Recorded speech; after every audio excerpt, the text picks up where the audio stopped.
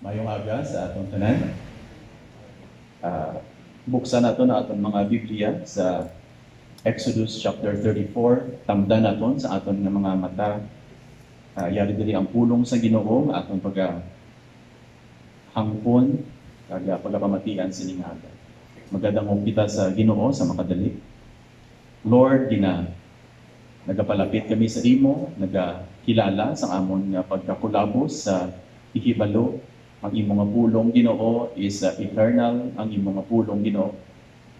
Halin sa imo, kag nag-pray kami Lord sa mga humble hearts to receive what you will tell us this morning. Naman akong pangamuyo sa ngalan ni Jesus. Amen. Ang uh, tigulo sa mensahe sa sininga aga is the renewal of the covenant ang pag-renew sang kasugtanan. Aton anay i-review sa makadali. Kaga I, I would want to encourage everyone. No, every time nga nagapamati kita sa pulong sa Ginoo and this is the desire of the church is that we do not take the passage and let it speak for what we want to say, for what we want it to say. We want to let it speak for what it says.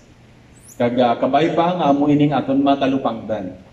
So sa sininga aga, when we talk about ang pag-renew sang kasugtanan, nga ara sa chapter 34, aton balikan ang mga tion kung sa diin ang ini nga kasugtanan mismo sa sininga libro gin-mention. If you're taking down notes, write the chapters. No? They're important. Hindi ko na maabrihan and read for you. If you go to chapter 2 sang sininga libro, aton matalupangdan sa later part, I think 23 or 24, makit-an dira nimo no nga ang pag uh, pag, pagbati sang Ginoo sang sitwasyon sang slavery sa Egypt is connected sa pagdumdum sa Ginoo sa iyang nga kasugtanan o kon sa covenant nga ginhimo niya hindi pa sa kay Moses kundi sa kay Abraham. So I have heard Kag nakita ko ninyo nga sitwasyon, kag nadumduman akon ang akon nga ginhimo nga kasugtanan sa inyo nga mga amay pa. So the Lord has committed Himself sa pagpadayon sang kung ano ang ginhambal niya sa kay Abraham sa iya nga kasugtanan nga gin pirmahan sa iya nga dugo. No? You can read that in Genesis chapter 15. Ang ini nga kasugtanan man, ina dito kay Abraham pa lang, no? Gin follow up ni siya. Kag nag-expand siya kag nagpadayon kag gin what should I say? May mga terms nga gindugang. Kag amo ni siya ang covenant nga makit-an nato in the book of Exodus. Just briefly. In chapter 6 amo man ang iyang ginhambal no? Nga ako ang Dios nga naghimo sang covenant sa inyo nga mga amay that's Abraham Isaac and Jacob gani kwaon ta kamo from the land of slavery tungod sa ako niya covenant. Sang nagwa na sila, naglambot sila sa Mount Sinai, kag naghambal ang Ginoo sa ila, I make a covenant. You are a treasured possession, a chosen nation, a holy nation, chosen people. Chapter 19. Sang ginhambal sa ila ang covenant, kumbaga daw makasiling kita ang kasugtanan, ginbasa pa lang In chapter 19, atong mabasahan nga sila mismo naghambal, yes, kung ano man na siya ang tanang ihambal sa Ginoo amon pagatumanon. Nagsulod ang Ten Commandments, nagsulod ang mga additional commandments, ang mga specifics sang Ten Commandments. Kag naglambot kita sa chapter 24, kag dito sa chapter 24, we can say, although lain nga pamaagi, ginpirmahan ang kasugtanan ang covenant. Now, this is very important for us to see. God made a covenant with Abraham. God moved this covenant towards His people Israel here sa Exodus. Paglambot mo sa chapter 19, the reading of the covenant, kagang mga tao nagsiling, yes, in chapter 24 is the signing of the covenant. This is the blood of the covenant. Do you see the picture? Why is that necessary? Nga uh, importante na siya para maintindihan naton nga aging renew ang covenant. Because last week, nakita naton that the covenant was broken. I, God, no? I will do this to you tungod sa covenant na akong sa inyong mga amay. This is the covenant I'm making with you. Chapter 19, you said yes. Chapter 24, nagpirmahanay kita, no? There was an offering. Himuon ninyo. Nagsaka si Moses 40 days and 40 nights. When he came down, the covenant was broken. Literal nga broken because the tablets of stone were broken. And so, ari kita subong, this is the second to the last sermon in the book of Exodus, and the covenant is renewed. Gin-renew ang covenant kag aton makit Andre that the initiative sa covenant sa kasugtanan wala nagahalin sa tawo nagahalin gid sa Ginoo. Sa sininga aga I will share three things sa inyo about the renewal of the covenant. Una gid ang renewal sa covenant number one is an act of God's disclosure. Act ni siya himo ni siya kung sa diin gina-disclose sang Ginoo ang iya kaugalingon. This is a gracious thing for God to do.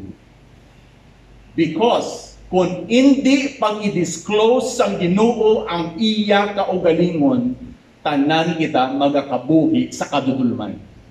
If God shuts himself out by himself, God who made the light, Ara kita tanan sa kadudulman. It's a gracious thing nga ang Dios mismo nag-disclose ang iya kaugalingon. So ang pag-renew sa covenant is an act of disclosure of God. Ikadua, ang renewal sa covenant is a means by which God will do wonders or marvels. Mabasahan nyo na, no? Kanina nabasahan natin. Verse 10. Behold, I am making a covenant And before all people, I will do marvels. Ang pag-renew sa covenant is pamaagi sa Ginoo kung sa diin magahimo siya sang iya mga wonders and miracles. Nakita na doon ang parting of the Red Sea, but this is more than the parting of the Red Sea. Kang ikatatlo, the renewal of the covenant is a way by which we see the glory of God ang pag-renew sa covenant, pamaagi ini nga makit-an naton ang himaya sa Ginoo. Magabalik kita sa unang nga punto, an act of God's disclosure. Kung may Bible ka mo, balikan na nakon ang chapter 33. Kung sa diin ang Ginoo nag-disclose sang iyang kaugalingon. By the way, in the book of Exodus, God has been disclosing Himself. Kagang iya nga tinutuyo para makilalaan naton siya, para kung makilalaan naton siya, makilalaan naton ang aton kaugalingon, kag makahibalo kita kung anong aton pagahimuon. Ang problema sa aton baliskad, anong aton niya himuon? Kay tungod amo ning aton niya himuon, dapat ang Dios mangina muna. So ginalungi naton ang Ginoo para sa aton. In Exodus, that's not the case. This is who God is, this is who you are, and this is what you are supposed to do because of who God is. God started by saying, I am, Exodus chapter 3. God started saying, I am the God of the covenant, chapter 6. Chapter 7, nagambal siya before the place, so that you will know, amuning akong pagahimuon. Chapter 7. Chapter 9, nagambal ang ginoo Pharaoh, abi mo, ikaw na ang sovereign. I will do this para makilalaan mo kung sino ang Diyos sa mga Israelites. And when we go to chapter 15, they sang a song saying, Who is like the Lord? Kag amo ni siya ang Diyos, amo ni siya kadako. And through the process, makita na to, no, that God is revealing Himself.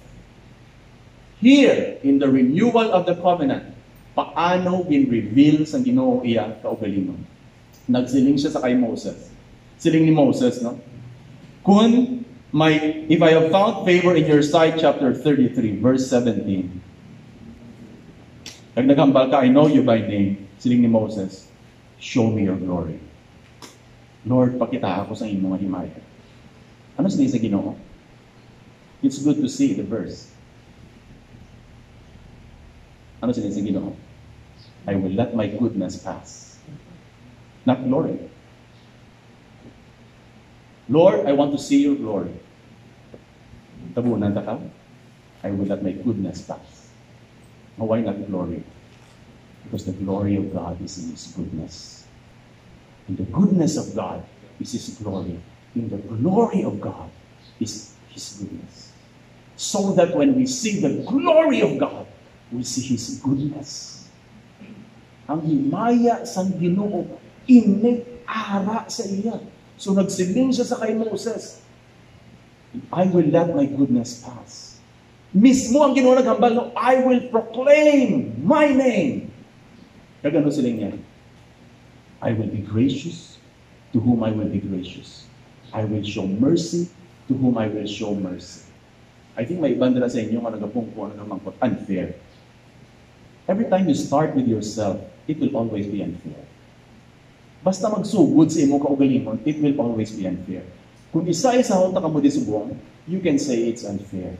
But when it starts with God, it is never unfair. It is because kung makita nimo kung sino ang Ginoo, makita nimo imo kaugalingon, and when God says He is gracious, He is not being unfair. Dili naton makita nga ang grasya sa Ginoo mga kauturan, hindi ni siya budiga nga abrihan naton and everyone come in. Sunod ka mo, pagwa ka mo kung anong inyong gusto. God's grace is sovereign grace. It is given to whom He will give it. Sovereign grace. Nakita niyo ang balance. Eh, kabudlay sa actually strike ang balance. No? Sa iyang pagkadako, gracious ang Ginoo. Pero sa iyang pagka-gracious, hindi mo siya mabutong nga himuon mo siya sinubukan. His grace is sovereign. That's chapter 33. Amo ni disclosure sa Ginoo, siya mismo nagahambal na hanungod sa iya kaugalingon. Gintago niya si Moses. Now we go to chapter 34. Ginabala niya si Moses, tungod na buka ang tablets of stone, cut for yourself two tablets. Tapos in the morning, sakat ka, and I will do this. Kung basahan ninyo, kagina na sa ato niya gibasa, you can go back to chapter 19, na makita mo that mas stricto ang nakasulat din. Wala sang may makapalapit. Sa chapter 24, may actually may ara.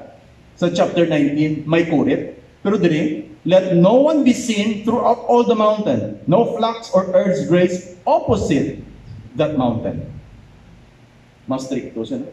Tapos gintawag niya si Moses to himself up in the mountain to the cloud. The Lord descended in the cloud, verse 5, and stood with him there and proclaimed the name of the Lord. Amon siya mga verses na nagpa-tremble. No? Kung maintindihan mo, mag-tremble ka gid, no? Mauyog ka gid. The Lord passed before him and proclaimed, though pareha sa chapter 33. Anong proclamation sa Ginoo? Listen carefully. The Lord, the Lord. Nga kinanglanong gitsuliton. Do you see that? Ngalan pa lang mo. The Lord. The Lord. Bisan dira pa lang, matremble ka na. No? And here is Moses before him, and God himself proclaims, The Lord, the Lord. Anong supo niya? A God merciful and gracious, slow to anger and abounding in steadfast love and faithfulness, keeping steadfast love for thousands or thousand up to thousand generation. It could be translated like that. Forgiving iniquity and transgression and sin. Ano ang konteksto sini? Bago lang kita nagalin sa chapters 32 and 33. Kung sa diin ang Ginoo naghambal sa ila, I am the God who brought you out from the land of Egypt. And God's people naghimo sang golden calf, kung anong ilang ginambal? These are your gods who brought you out from the land of Egypt. And we will make a festival to the Lord. Bago lang yun. And here comes the Lord proclaiming himself before Moses. The Lord, the Lord, ay God, gracious and merciful, slow to anger and abounding in steadfast love. Ano ang significance na? Tanawan niyo kung ano yung forgive yan. Forgiving, iniquity, transgression, and sin. All these three things. Magsiling ka iniquity, ang wickedness ang imo nga ginahimo. And what they did was a wicked thing. Wickedness ang imo ginahimo. What is transgression? Transgression, inang may kurit diri, tapos ginlabayan mo ang kurit. Wala mo ginrespeto ang kurit, no? gin-cross mo siya. Trespassing is transgression. Nag-transgress sila, naghimo sila sang wicked act, They can't help it. They are stiff-necked people because sin is that innate rebellion to the ways of God. Ano ang ginimok sa Ginoo? Gracious and merciful, abounding in steadfast love. Ang Ginoo maluluyon, ang Ginoo nag-abound in steadfast love Actually, do, kung, kung basahon mo siya, do, do redundant na siya, no? Abounding in, di ni siya mahubsan. Steadfast because nagapadayon ni siya. And you have to see this in the entire scripture for what this means. Anong po siningon sininga steadfast love? This is a love that binds itself in the covenant. This is not love that is fickle. This is not love nga parehas lang sa nanamian ka and then after that, bayaan mo siya kaya hindi ka na nanamian. This is love that commits itself to the object that He loves. And this is God's steadfast love. Do you remember last week? Siling niya kay Moses, Patsyun ko na I will destroy them, but I will make them into a nation. But God continued in His steadfast love. This is abounding, steadfast love. Malipatan nyo lang ang tanan. Pagpunin nyo karon, go back to these verses. Memorize them. Because ang meaning of verses, ang pag-proclaim sa Ginoo sa iya kaugalingon appeared also in many parts of the Bible. But before I go to that, hindi ko ni pag-iikot doon. Sila niya, forgiving iniquity, transgression, and sin, but who will by no means clear the guilty. Kag aton makit-an, ah, no? Gra- grabe ang grabe ang pictures ng Ginoo diri, no? He is the God gracious, merciful, compassionate, abounding in steadfast love, forgiving iniquity, transgression, and sin, but by no means clear the guilty. Sa pagkamatuod sa iyang tatay, sa iyang kaanakan, sa kaanakan, sa iyang mga kaanakan, up to the third and fourth generation. The Lord does not clear the guilty. Ang judgment nagatupak gid sa guilty. Nakita ninyo ang natabok sa nagiligan niya si Mana? Nakita ninyo kung paano sila naghimo sa golden cup? Nakita ninyo kung paano nag-intercede si Moses? Nakita bala ninyo that judgment still fell. And there were those who died and they were judged and they were killed by the Levites. Ang judgment nagatupa.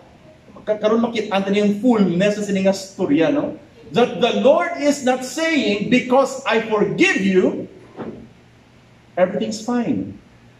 Okay, everything's fine. I think nakuha ko ni kay Tim Keller, no? Every time there is forgiveness, every time there is forgiveness, not the right word, there's always someone who pays the cost. Always. Always. Wala kasang forgiveness na wala kasang cost. For example, uh, just very shortly, may migo ka, nagulang sa imo sang phone, nadula yan imo nga phone. Ginalain ka. Now, it's either bayaran niya or masiling ka, okay lang kay friend na tayo, hindi na lang pagbayari. But kung magsiling ka, hindi na lang pagbayari, who pays the cost? You pay the cost because you lost the phone. If, if the friend says, iyo, libre bayran ka, baklanta ka bagmo. The, the friend pays the cost. Someone pays the cost. Hindi pwede nga wala lang. Okay, friend na nagyapon, no? Nothing happened to the phone. No! Something happened to the phone and someone pays the cost. And when God says He will by in no way clear the guilty, hindi na ako maglambot sa puntan. I will tell you that that is the same thing that Jesus did on the cross. That the forgiveness that He bought for you and for me was not that nagpanakaw si Jesus sa nagsaling siya, okay, free na kamutanan. Why na kamutanan sala? I forgive you. Jesus has to come and die so that the guilt and sin, iniquity, transgression are all punished. Because forgiveness comes with a cost. Wala na kang balatino, okay lang golden cup. Okay lang mag-worship na. Hindi na kang magliwat ha. May matampukin. Mga kauturan, ang ining na confession, this is, a, this is an Old Testament confession, appeared in Nehemiah chapter 9 In Nehemiah chapter 9, ang context niya is confession. Nag-confess sila sa ilang mga sala and when they confess their sins, si Nehemiah gin-quote niya ining a verse. In, fact, hindi lang ang verse, no? ginbalik niya sa history. Diri sa natabo, diri in making the golden calf, kag naghambal siya sa Ginoo, Lord, forgive! Because you are the God who is gracious, compassionate, slow to anger, abounding in steadfast love ang basis lang gid sang imong nga forgiveness is these verses. Amo lang gid ni ang basis. Magkadto ka sa Joel chapter 2, I think verse 13 or you can read other verses after verse 13. Ang Ginoo magadala sang judgment kag nagsiling si through the prophet Joel, Lord, repent ka no, not in sackcloth and ashes, but repent and turn to the Lord for His steadfast love endures forever. He is the God who is slow to anger, abounding in love. I think this was also quoted two times in the in the book of Psalms. Ang basis sang forgiveness ang Ginoo amuni ang pag-disclose niya sa iya kaugalingon. No wonder si Moses nagsiling sang in-disclose sa Ginoo iya kaugalingon, Moses bowed down his head toward the earth and worshiped. Ang ganon siling ni Moses, If I have found favor in your sight, please let the Lord go in the midst of us, for it is a stiff-necked people, and pardon our iniquity and our sin, and take us for your inheritance. Nag-struggle ka sa sala? Nag-struggle ka magbalik sa Ginoo? This is the confession This is the confession that is the basis. Lord, forgive me. Many times ang ato mong ginahimo is we do better things. Nakasala ko, eh. I will do better things. To pay for our sins. This is the basis. The renewal of the covenant as God discloses Himself. Hindi ko malipat if you were attending Sunday school, or for those who have gone through the book of Jonah, this verse, these verses were quoted. Did siya quote? Jonah chapter 4. If you go to Jonah chapter 4, it's quite shocking. Because ang ining verse, so far sa ako naging share sa inyo, no? sang ginhambal sa Ginoo sa kay Moses, The Lord, the Lord, a God who is gracious and merciful, slow to anger and abounding in steadfast love, up to thousands of generations, forgiving their, their iniquity, their transgression, and their sin. Grabe ang grasya sa Ginoo. Pagamuning basis ng palimita sa Ginoo. Pagamuni ang basis, by the way, kung naa ang mga Ninevites, ginsay sa Ginoo paagi sa iya nga grasya. Kag no wonder si Jonah nagreklamo. Nagreklamo si Jonah, when you go to Jonah chapter 4, nagreklamo si Jonah kay nga ang gi-forgive sa Ginoo. Siling ko daw, i-forgive it sa ni God. Kanugol, gusto ko siya tani. gusto ko sila tani mawasak. Gusto ko sila tani hukman. Gusto ko sila tani matunaw sa kalayo. Gusto ko sila tani amo ni matabo sa ila. And that is exactly what will happen when you take these verses and say, tani applied sa akon, tani hindi lang apply sa iban. No? Paghukom lang sa ila. Grabe ang istorya sini nga verses, no? Bear this in mind. Exodus 34, 6 to 7. Ang Ginoo gin-disclose niya niya self pag naghambal siya, siya ang Diyos nga manluyon. Siya ang Diyos nga sa iyang agrasya, sa pag-abound sa iyang agugma nga wala sang limit, siya nagapatawad sa imong iniquity, sa imong wickedness, sa imong pag-cross ang linya, sa imong transgression, and in fact, even sa imong innate rebellion, which is sin. No wonder Moses says, pardon our iniquity. Ikadua, ang pag-renew sa covenant is a means by which God will do wonders. Mabasahan na natin sa verse 10. Naghambal ang Ginoo, Behold, I am making a covenant before all people. I will do marvels or wonders such as have not been created in all the earth or in any nation. And all the people among whom you are shall see the work of the Lord, for it is an awesome thing that I will do with you. I wonder if ikat a verse, and then, na ipakita ko sa inyo, and then I'll ask you, ano yan ang natabo after sin? God says, I will make a covenant and I will do wonders. And then nakita ninyo ang Bible reference, no? Exodus. Ah, siguro, may himuon liwat ang ginoo nga Red Sea. No, something like that. Na do, grabe ka. As in, grabe, you know, He will do wonders. It's quite shocking nga after nagamba lang ginoo, I will do wonders! Gani, observe the law. Basahan niyo ba? Na, basahan niyo? I will do great wonders among you. I will do great wonders with you. In fact, hindi, grabe nga wonders, no? As if ginaha-proclaim niya that it will multiply and so on and so forth. And then, after verse 10, nagambal siya, observe what I command you this day. Sa pagkamatuod lang, you can read this in chapter 23, verse 32. You can also go to chapter 23, halin sa verse 14. Ang ini sila nga mga commandments, amo man sila gyapon niya commandments, except sa mga specific commandments nga ginhambal from 20, 21, and 22.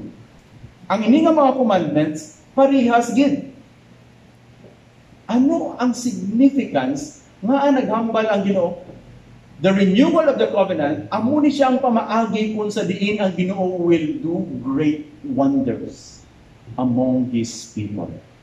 And then naghambal siya, this is your part of the covenant. By the way, base malipatan natin, basta kasugtanan gani, hindi pwede na ang kasugtanan isa lang ka party. Okay? May mo kubla covenant. May ano gid, no? May iban gid. May terms ang covenant. So, ang Ginoo naghambal amuni ang terms sa inyong covenant. Observe what I command you this day.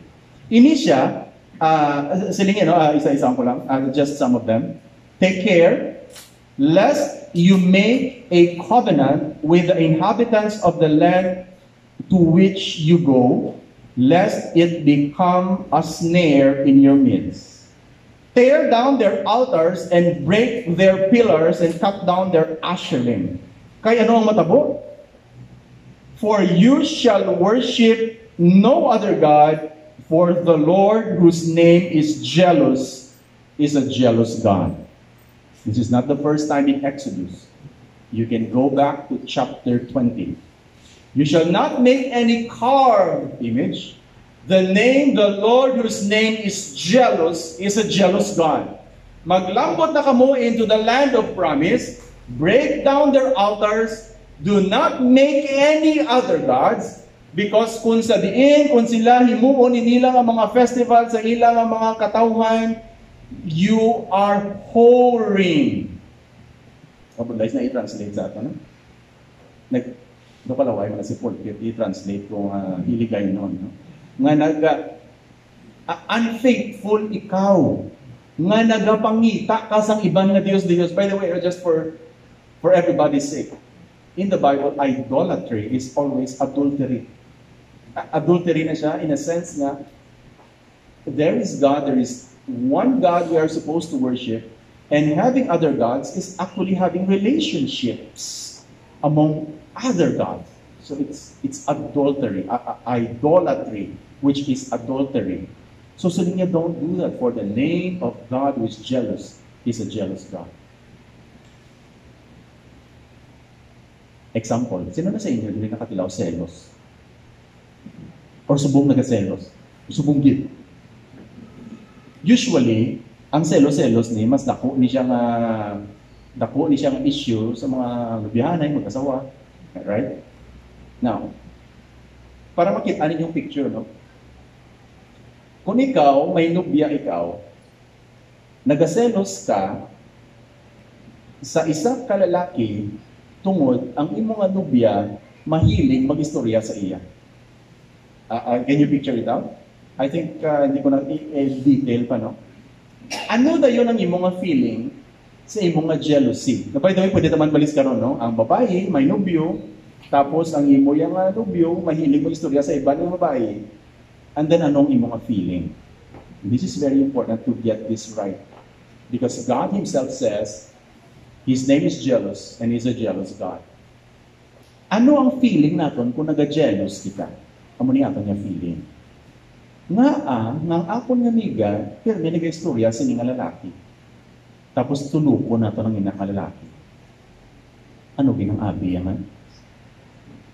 Ah, gwapo man ko. Na, do, do, you see the picture? Gwapo man ko, galing daw, hindi, hindi ko parehas sa kwartahan sa iya. Pero, alaman ko. Pero, dama ko na accomplish. Siya ganito, hindi, hindi kita na mayo.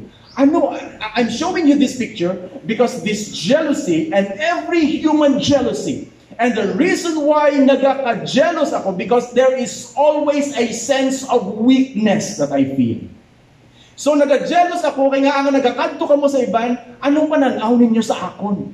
Kag when I look at myself, I feel so small. I feel I am inferior. I feel I have a weakness.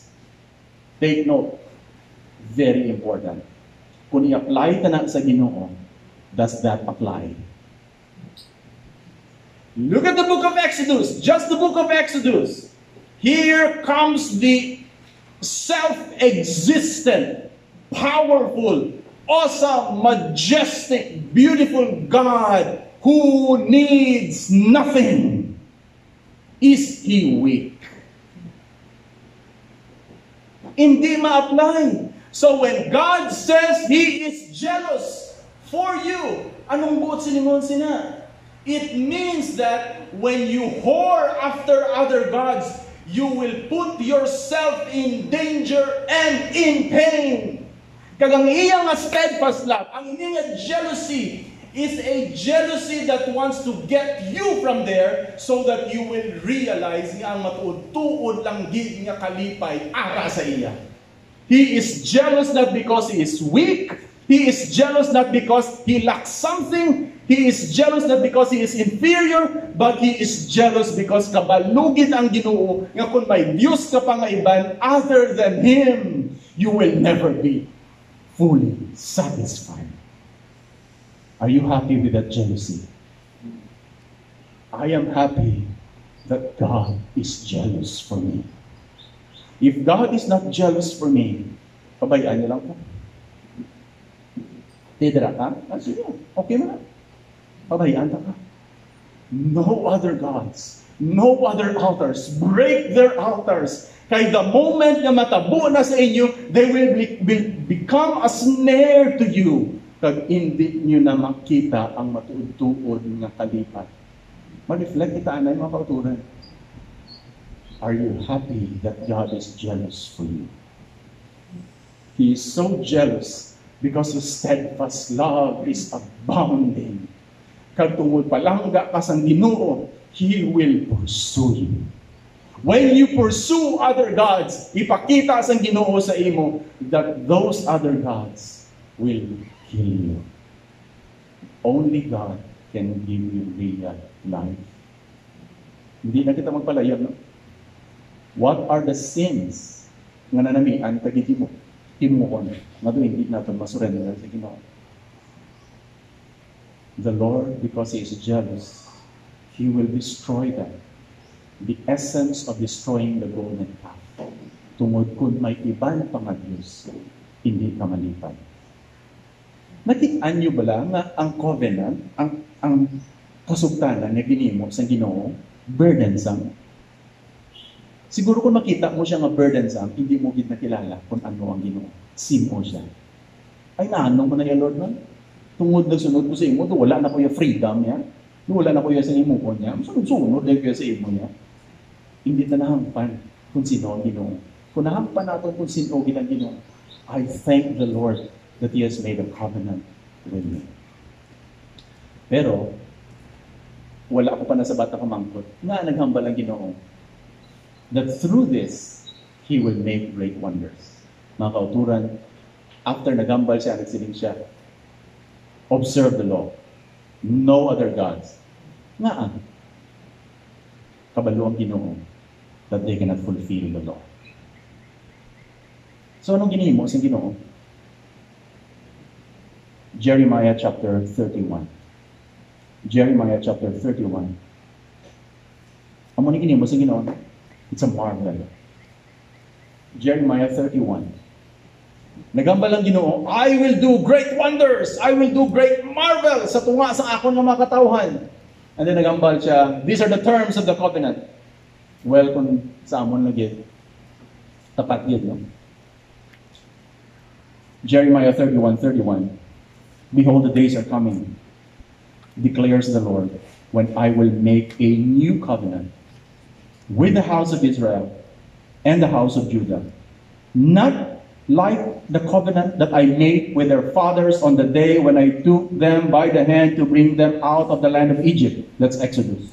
My covenant that they broke. That's Exodus. Though I was their husband, declares the Lord. But this is the covenant that I will make with the house of Israel after those days, declares the Lord. I will put my law within them. I will write it on their hearts, and I will be their God, and they shall be my people. And no longer each one teach his neighbor, each brother, saying, Know the Lord, for they will all know me, from the least to the greatest, for I will forgive, forgive their iniquity, and I will remember their sin no more. Jeremiah 32, you can read the same thing. You can read from verse 40. Ezekiel chapter 36. It's the same thing. Anong ginambal sa Ginoo? Behold, I will make a covenant with you and I will do wonders. Obey this. Pero nakita sa Ginoo that we will falter along the way. And so along the way, naghambal ang Ginoo through His prophets that this covenant in Egypt is not final. I will make a covenant. Din compare nito ang covenant here. That instead of writing this on tablets of stone, I will write the laws in your hearts. And I will put my spirit in your hearts so that you will know, we will know Him, so that we will know the Lord. That the Lord forgives our trespasses and our iniquities and our sin. Amo ni siyang wonder. Ah, Abi niyo, ang greatest ng miracle, amo to siyang crossing of the Red Sea. There is a crossing from death to life. May himuon ang ginoo, kag ma-marvel kita tanan, because ang covenant nagasiling, do this and you will live. Pero hindi kita makatuman sa kasuguan, gani mapatay kita tanan. And here is the marvel. There will come a time when I will put my law in your heart. in the hearts of flesh. Kuhaon ko na ang hearts ang stone, imungon ko na siya heart of flesh. When you go to Ezekiel chapter 36, it is that chapter that Nicodemus and Jesus have in mind in John chapter 3. Amo na siya ang gina-refer ni Jesus about the cleansing of water and the Spirit moving Buot silingon mga kauturan, may himuon ang Ginoo which is greater than the physical crossing of the Red Sea. It is the crossing from death to life. Because indeed, ikaw nga ginhambalan, obey this and you will live. Mahimo ni mo ang kasuguan. Hindi naton masarangan. Pero mag-aabot ang tiyon nga ang ginoo, ang iyang ahimuon. Instead of giving us the law, He will write the law in our hearts. Sa una siya natabo? When Jesus came, He fulfilled the law. So that when you put your faith in Him, God's laws are written in your heart. Do you notice? Do you notice nga ang kasuguan wala nagahatag kabugit? Ang kasuguan hindi malain, pero wala siya nagahatag kabugit. It never gives life. Karon dato ang tanan 2 Corinthians 3. Never will. Sa simbahan, may mga kasubuan. Eh. And the more ka nga ginasugo, the more ka nga daw hindi gusto. Do you notice? The more ka nga hindi magsuksok sa imong mask, the more ka nga ginabalan niya, mas ka sa imong mask. Mask, mask, the more mga gusto ubahon. No, kay ginahambalan ka. No, nag, nag, But once the heart is changed, nagalain ang tsura sa ulo. Do you see that? When, kung nang ginahambal sa mo, ah, hugas, hugas naman, kapilan ako hugas, kapilan ako hugas, di lang hugas na ako kagina. Kung nalingan ko sigarin ko takita, hugas ng alcohol. Hindi naman, hugas ng alcohol. Nalingan ko naman, hindi ko kasaho. But once you understand when the heart is changed, and you know what the purpose of that is, your heart, the life comes when the heart is changed. Do you see the difference? Na nagaamo ko ni, ah, kay love ko ako ng mga utod. Hindi ko gusto nga, kasi may virus, kung mas-spread sila. Amo ni galing nga nagaamo ko ni. The heart is changed, and when did that, when did God do that? When Jesus came and fulfilled the law, because you cannot fulfill the law. He came and fulfilled the law. And because He fulfilled the law, when you put your faith in Him, He puts His law in your hearts the Spirit now gives life. Just a small comment, I think you will ask. Last time, sa ginawa ko wala ko siya nahambal. Eh. It's just a shocking law. Verse 26. The best of the first fruits of your ground you shall bring to the house of the Lord your God. You shall not boil a young goat in its mother's milk. It also appeared in chapter 23, that I think uh, 2319. Well, many people are not sure about it. But I don't want to read that just to give you trivia. I want you to understand no, ang essence. Nga hindi ko paglutuon, ang bata nga kanding, sa gatas, pabukalan mo sa sa gatas ang iyang nanay. What is supposed to give life should not be the means to death. The milk that is supposed to give life and nourish the young goat must not be the means by which to kill the goat. In short, what gives life must give life. Must give life. I think essentially, may naghambal no, that there could be sacrifices in the Canaanites nga ginahimo nila.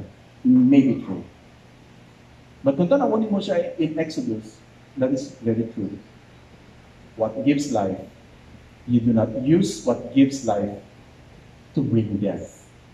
Ang grasya sa Ginoo that gives life must not be a means for you to bring death. Uh, anong po siningon sila? Because pwede mo ma-misuse ang grasya sa Ginoo. Essentially, huh? just my thoughts about that verse. The renewal of the covenant is an act of disclosure of God. The renewal of the covenant is a means by which God will do marvels because isla niya no, ang atong tagipusoon. And finally, the renewal of the covenant is a way by which we see the glory of God. Nakita niyo itong last portion, yung basa ni Manong Selo. Sa nagpanaog si Moses 40 days and 40 nights. No bread, no water. Remember, 40 days and 40 nights nagpanaog niya, golden calf. Nagsaka sa liwat, 40 days and 40 nights pagpanaog niya, his face was shining. Wala ko pa na, wala pa ko naka-experience na. Either ako na face or face ng iba nga nagasigaw yun. Kag ang kung basahon nimong passage, ang mga tao ginkulbaan sila. Kag hindi sila magpalapit.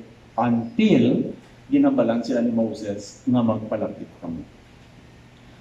And then magistorya na si Moses, amuni ang kasuguan ni ginambal si Ginoo para sa inyo. And after Moses speaks to them, he would cover his face with a veil. Pero kung magsulod siya dito kag magistorya sa Ginoo, he has to remove that veil. And when he comes out and talk to the people, he has to cover his face with a veil. Ano to siya ang sa nawong ni Moses? It was a glimpse. It was a reflection of the glory of God. He has been talking with God. And so pag panaog niya, gin-reflect niya ang himaya sa Ginoo. Kag sa matuod nga makakita sa himaya sa Ginoo, wala kita naga-party. But in awe and reverence, grabe kay Ginoo.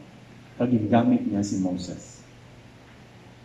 But I will close with 2 Corinthians chapter 3. Kung sa diin ang ining passage was used by Paul, actually you can go until chapter 4.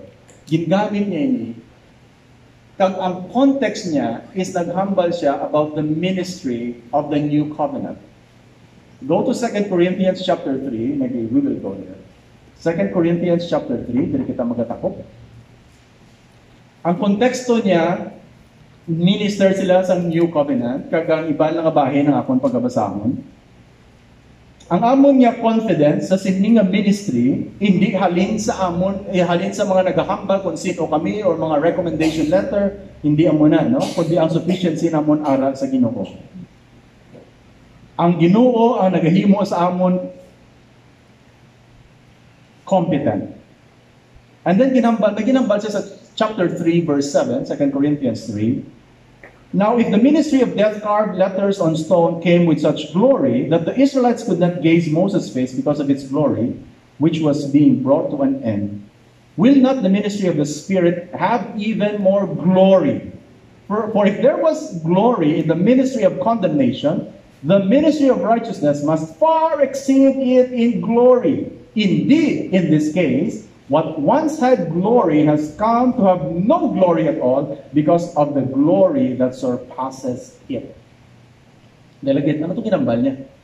Siling ni Apostle Paul, ang natabo sang una was glorious. Nakita nyo naman ang nawong ni Moses. Pero, kung i-compare siya nato ang himaya sang una dito sa kay Moses, sa himaya sang ginimo sang Ginoo subong paagi sa kay Jesus, it seems like ang glory sa una, it seems like there's no glory.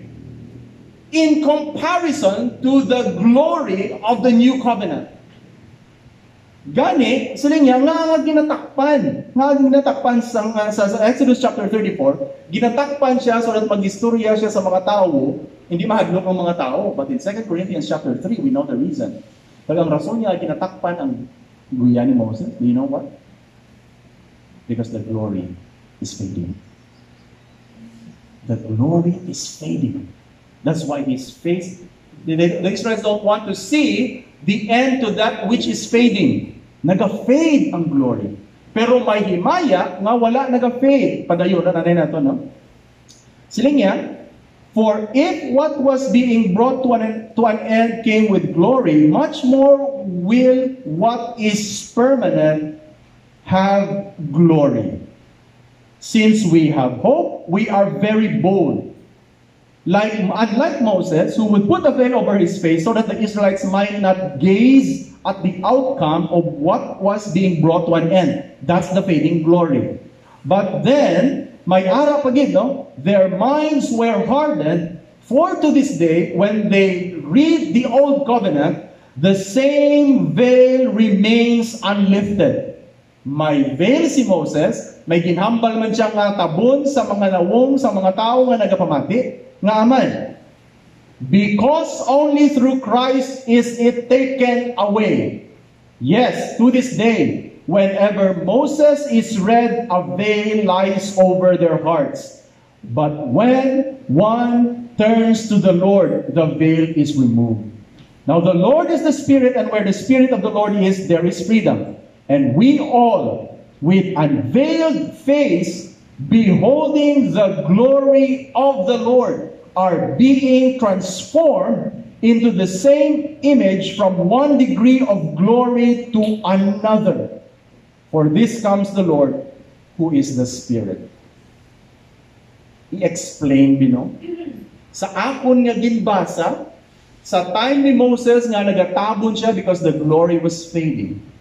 It was glorious, pero kung i-compare mo siya sa New Covenant, in Jesus, this is far more glorious. May mga tao man nga ginatabunan ng ilang anawong. Kung ang pagbasa sa Old Testament, wala nagalambot sa kay Kristo. Because only in Jesus is the veil lifted. And when one turns to the Lord, the veil is lifted. And when the veil is lifted, you will see God's glory. And when you see God's glory, you are transformed. Ang transformation sang kabuhi is connected to beholding the glory of God. Amen. And the glory of God is in the face of Jesus Christ. For God, who is light, said, Let light shine out of darkness, so that we behold the light of the knowledge of the glory of God in the face of Jesus Christ. 2 Corinthians 4 6. Nga, ah, it means ang panawagan sa aton, we don't just see the narrative nga ara sa Old Testament. We don't just see the narrative, ang glory sa natabo sa kay Moses. There is a veil that we cannot see if all we see is Moses. But the veil is taken kung makit-an nimo nga ang istorya na hanungod sa ginhimo sa Ginoo para sa imo paagi sa kay Jesus and you will see the glory of the Lord in the face of Jesus Christ. And it is in beholding that glory that our lives are transformed. Nothing else. The law will never transform your life. Never. That is not glorious. Pamati ka mo. Basta mo Bible. Pamuyo mo. Na, ano man yung klase Kristuan? Do, kaya ka mo na Christian. Kaya pa ka mo sina. It will never change. You will feel guilty. You will feel, ah, tak, anak ko mati, mo sana. But when you behold that glory in the face of Jesus Christ, you see the proclamation in 34, 6 and 7, the Lord, the Lord, a God gracious and merciful, slow to anger, abounding in steadfast love, forgiving my iniquity, my transgression, my sin, but in no way clear my guilt. But he paid my guilt on the cross. That's why with Moses I can say, Pardon me. And when we behold Jesus, our lives are transformed. Wala sa iba mo transform. You come to church, you hear the Lord, you will never be transformed. You come to church, you behold Jesus, you will be transformed. Kabay pa, no? Sa ato niya pagpalauli, we will behold Him, and we are moved from one glory to another. Because the veil is removed, we don't just see Moses, we see Jesus. Gin-disclose niya ang iyang self, ginpakita niya ang iyang marvels, ginpakita niya ang iyang himaya. Kabay pa, hindi kita mabugatan kung magsilang ang ginoo. I have made a covenant with you. I am jealous for you because He loves you with an everlasting love. Magapangamoy ito. Lord, forgive us for running after other gods. Kapaminsar kami, kung na mo ni Lord, malipay kami di. Kung na mo ni, masatisfy kami. Kung na mo ni, mas nami siya. And we have forsaken you. You have renewed the covenant. But yet, when you tell us the law, all the more nga mo yung heart ni Noon would want to disobey. Grabe nga mo yung heart, Lord. But you have shown us who Jesus is. He is the full disclosure of God. He is the marvel by which God did His work in our hearts. And Jesus is also the glory of God. So that when we behold Him, nagka-transform mga aming nakatulog. Kabay pa Lord, maintindihan namin kung sino siya. And we will also be transformed. You will transform us as we behold your Son. In His name we pray. Amen.